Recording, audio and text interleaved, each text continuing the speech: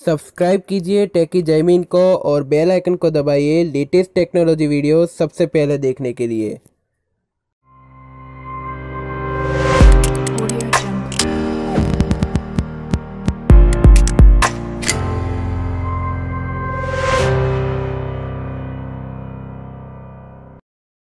नमस्कार दोस्तों, मेरा नाम है जयमीन, आप देख रहे हैं टेकी जयमीन दोस्तों, मैं दो स्मार्टफ़ोन की कंपैरिजन वीडियो लेके आया गया जो जिसमें पहला जो स्मार्टफ़ोन है रियलमी की तरफ़ से आने वाला रियलमी X2 जो फ़िलहाल अभी अभी लॉन्च हुआ है, और दूसरी तरफ़ हमारा शाउमी की तरफ़ से आने वाला शाउमी का रेडमी का K20 ये स्मार्टफ़ोन में आपको, दोनों स्मार्टफ़ोन में आपको स्नैपड्रैगन 730 का आपको प्रोसेसर देखने को मिल जाता है। इसलिए और कौन सी प्राइस में आपको कौन सा फ़ोन लेना चाहिए और दोनों स्मार्टफ़ोन में कौन सा फ़ोन अच्छा है, इसके बारे में बताना चाहूँगा। वीडियो शुरू करने से पहले बताना चाहूँगा कि अगर आपने हमारा चैनल सब्सक्राइब नहीं किया तो पहले सब्सक्राइब कर लीजिए, मैं ऐसी रोजिक वीडियो लाता रहूँगा। तो पहले हम दोनों स्मार्टफ़ोन की पहले डिस्प्ले की बात करते हैं। तो डिस्प्ले में आपको रियलमी के X2 में डिस्प्ले जो मिलती है 6.4 इंचेस की फुल एच रिजोल्यूशन के साथ में आपको सुपर एवरेज स्क्रीन देखने को मिल जाती है, जिसमें आपको 20 9 का एक्सपेक्टेशन देखने को मिल जाता है। और इसमें आपको ड्यू ड्रॉप नॉच देखने को मिल जाती है फ्रंट में और बता दूँगा 91.9% स्क्रीन टू बॉडी रेशियो देखने को मिल जाता है। कॉर्निंग गुरिल्ला ग्लास फाइव की प्रोटेक्शन देखने को मिल जाती है फ्रंट और रियर दोनों तरफ़। यानी कि डिस्प्ले की क्वालिटी बहुत ही अच्छी देखने को मिल जाती है और आपको अच्छी क्वालिटी वाली डिस्प्ले देखने को मिल जाती है। प्रोटेक्शन के मामले में भी ये फ़ोन बहुत ही अच्छा देखने को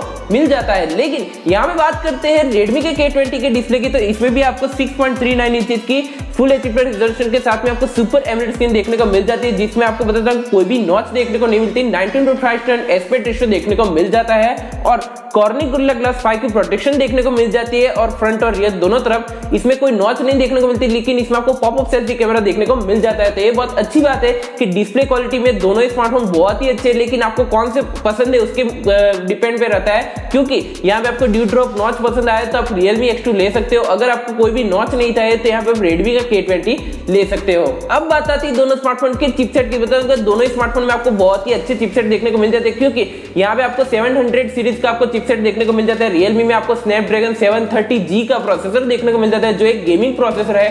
8 nm बेस्ड टेक्नोलॉजी पे काम करता है। ऑक्टाकोर पॉड है 2.2 गीगाहर्ट्ज पे क्लॉक है और एड्रीनो का 618 का आपको जीपीयू देखने को मिल जाता है। परफॉर्मेंस के मामले में ये स्मार्टफ़ोन भी बहुत ही अच्छा है। लेकिन यहाँ पे बात करते हैं रेडमी के K20 के चिपसेट की तो इसमें भी आपको स्नैपड्रैगन 700 सीरीज़ का 730 प्रोसेसर देखने को मिल जाता है, जो एक नॉर्मल प्रोसेसर है। लेकिन ये भी आपको 8 nm बेस्ड टेक्नोलॉजी पे काम करता है। ऑक्टाकोर पॉड है 2.2 गीगाहर्ट्ज पे क्लॉक है।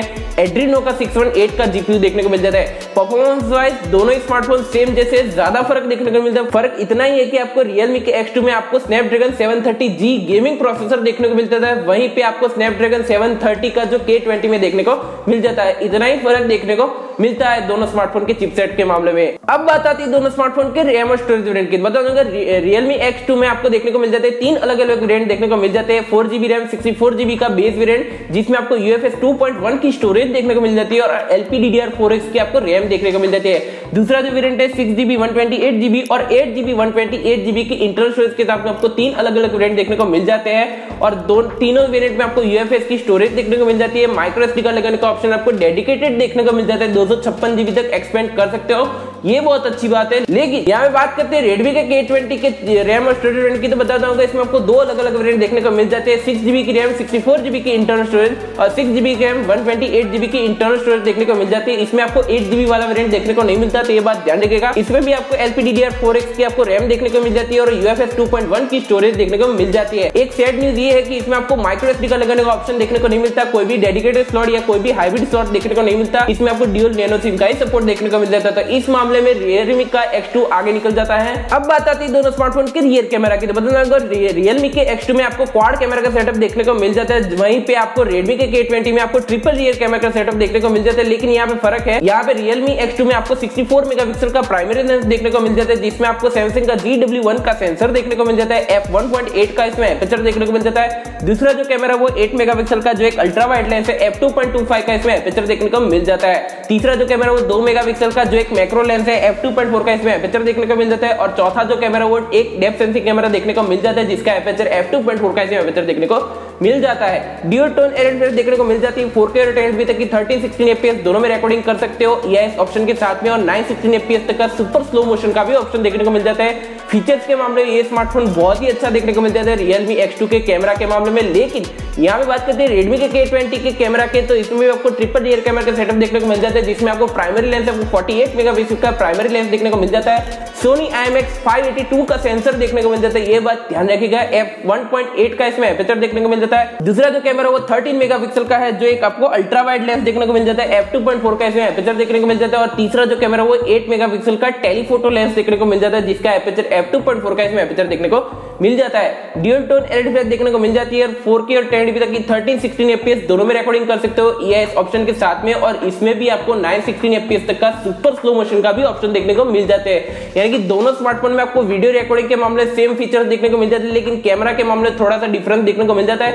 कैमरा के मामले में दोनों स्मार्टफ़ोन सेम जैसे ज़्यादा फ़र्क देखने को नहीं मिलता। है सिर्फ़ फ़र्क फ़र्क इतना है कि इसमें जो कैमरा मेगापिक्सल काउंट है, वो थोड़े से ऊपर नीचे है, क्योंकि यहाँ पे आपको 48 मेगापिक्सल का K20 में देखने को मिलता है। लेकिन यहाँ पे आपको Realme X2 में आपको 64 मेगापिक्सल का क्वाड कैमरा का सेटअप देखने को मिल जाता है। तो ये फ़र्क है तो कैमरा के मामले थोड़ा सा बेटर है, आपको Realme X2 देखने को मिल जाता है। अब बात आती है दोनों स्मार्टफ़ोन के सेल्फी कैमरा की। बता अगर Realme X2 में आपको 32 मेगापिक्सल की फ्रंट फेसिंग सेल्फी देखने को मिल जाती है, जिसका एपेचर f2.0 का इसमें एपेचर देखने को मिल जाता है। HDR कैमरा और 10 तक की 13 एफपीएस तक रिकॉर्डिंग कर सकते हो EIS ऑप्शन के साथ में। लेकिन, यहाँ पे बात करते हैं Redmi के K20 के फ्रंट फेसिंग कैमरा की तो इसमें आपको पॉप पॉपअप सेल्फी कैमरा देखने को मिल जाता है एलईडी नोटिफिकेशन के लाइट के साथ में, और इसमें आपको 20 मेगापिक्सल की सेल्फी देखने को मिल जाती है, जिसका एपेचर f2.2 का इसमें एपेचर देखने को मिल जाता है। HDR कैमरा और 10 तक की 13 एफपीएस तक रिकॉर्डिंग कर सकते हो।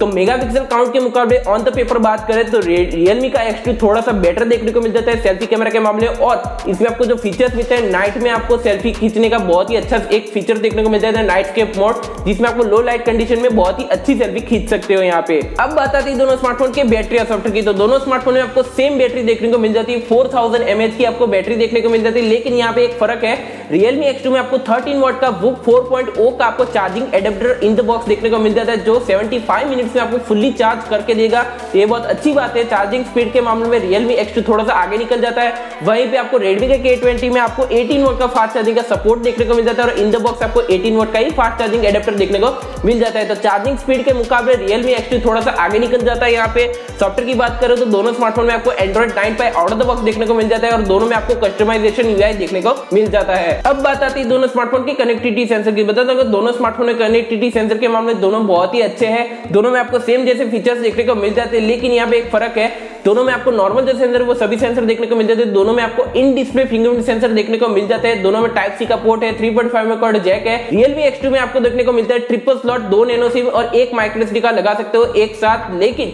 रेडमी के K20 में आपको ड्यूल नैनो सिम का ही सपोर्ट देखने को मिल जाता है। तो ये फ़र्क है, ज़्यादा फ़र्क देखने को नहीं मिलता। ड्यूल बैंड वाईफाई और ब्लूटूथ का 5.0 दोनों स्मार्टफ़ोन में देखने को मिल जाता है। तो कनेक्टिविटी सेंसर के मामले में थोड़ा सा ही फ़र्क है, ज़्यादा फ़र्क देखने को नहीं मिलता। अब बात आती है दोनों स्मार्टफ़ोन की कलर वेंट और प्राइस की। तो दोनों स्मार्टफ़ोन में आपको कलर वेंट बहुत ही अच्छे खासे देखने को मिल जाते हैं, लेकिन प्राइस की बात आती है तो रियलमी एक्स टू में आपको जो प्राइस मिलती है वो फोर जीबी वाला वेरियंट है। इसकी जो बेस वेरियंट की प्राइस है तो सिक्सटीन ट्रिपल नाइन की प्राइस में आपको फ़ोन पड़ेगा। दूसरा जो वेरियंट है सिक्स जीबी वाला वेरियंट इसकी प्राइस की बात करो तो एटीन ट्रिपल नाइन की प्राइस में आपको फ़ोन पड़ेगा। और तीसरा जो वेरियंट है एट जीबी वाला वेरियंट इसकी प्राइस की बात करें तो नाइनटीन ट्रिपल नाइन की प्राइस में फ़ोन पड़ेगा। तो प्राइस बहुत ही अग्रेसिव है, लेकिन लेकिन यहाँ पे बात करते हैं रेडमी के के ट्वेंटी की प्राइस की तो बताना होगा इसमें भी आपको बहुत ही अच्छी प्राइस देखने को मिल जाती है, लेकिन ये बहुत ही ज़्यादा है, क्योंकि इसमें जो six GB sixty four GB वाला वेरियंट है, इसकी प्राइस की बात करूँ तो इसमें आपको नाइनटीन ट्रिपल नाइन की प्राइस में फ़ोन पड़ता है। और दूसरा जो वेरियंट है six GB one twenty eight GB वाला वेरियंट इसकी प्राइस की बात करो तो इसकी price twenty two triple nine की प्राइस में फ़ोन पड़ता है। यानी कि प्राइस बहुत ही ज़्यादा है, क्योंकि यहाँ पे आपको जो हायर वेरियंट है रियलमी एक्स टू का, उसके नाइनटीन ट्रिपल नाइन की प्राइस में फ़ोन पड़ता है। वहीं पे आपको बेस वेरियंट रेडमी के के ट्वेंटी की प्राइस में आपको फ़ोन पड़ता है। तो बहुत ज़्यादा हो जाता है रेडमी के के ट्वेंटी की प्राइस में। तो फ़िलहाल अभी कोई स्मार्टफ़ोन आपको लेना हो तो आप रियलमी एक्स टू ले सकते हैं, क्योंकि जो इसके फीचर्स है, वो बहुत ही थोड़े से ज़्यादा देखने को मिल जाते हैं। वहीं पे आप बात करते हैं रेडमी के K20 की तो इसमें आपको फीचर्स थोड़े से कम देखने को मिलते हैं। हाँ डिज़ाइन के मामले में ये स्मार्टफ़ोन बहुत ही अच्छा देखने को मिल जाता है, लेकिन यहाँ पे फ़र्क यही है कि इसमें जो फीचर्स है, वो आपको थोड़े से कम देखने को मिल जाते हैं। ऑल ओवर कंक्लूजन की बात करूँ तो बता दोनों स्मार्टफ़ोन बहुत ही अच्छे हैं, आपको बहुत ही स्पेसिफिकेशन बहुत अच्छी देखने को मिल जाती है, लेकिन अभी जो फ़िलहाल आपको फ़ोन लेना हुई हो तो आप रियलमी का X2 ले सकते हो। तो मुझे आप कमेंट सेक्शन में ज़रूर बताना कि आपको कौन सा फ़ोन अच्छा लगा रियलमी X2 या रेडमी का K20 कमेंट सेक्शन में ज़रूर बताना। फ़िलहाल इस वीडियो में इतना ही दोस्तों, आपको वीडियो पसंद आए तो लाइक करें शेयर करें कमेंट करें सब्सक्राइब करना मत भूले, मैं ऐसी रोज वीडियो लाता रहूँगा। धन्यवाद।